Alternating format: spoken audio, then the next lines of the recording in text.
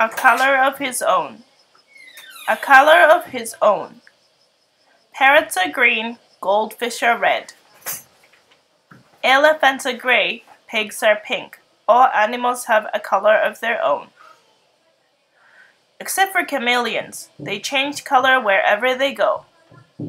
On lemons they are yellow, in the heather they are purple. And on the tiger they are striped like tigers. One day a chameleon who was sitting on the tiger's tail said to himself, If I remain on the leaf, I shall be green forever, and so I too will have a color of my own.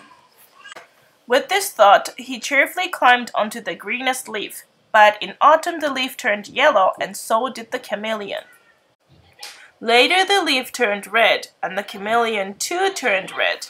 And then the winter winds blew the leaf from the branch, and with it the chameleon. The chameleon was black in the long winter night. But when spring came, he walked out into the green grass, and there he met another chameleon. He told his sad story. Won't we ever have a color of our own? He asked. I am afraid not, said the other chameleon, who was older and wiser. But, he added, why don't we stay together? We will still change color wherever we go, but you and I will always be alike. And so they remained side by side. They were green together, and purple, and yellow, and red with white polka dots, and they lived happily ever after.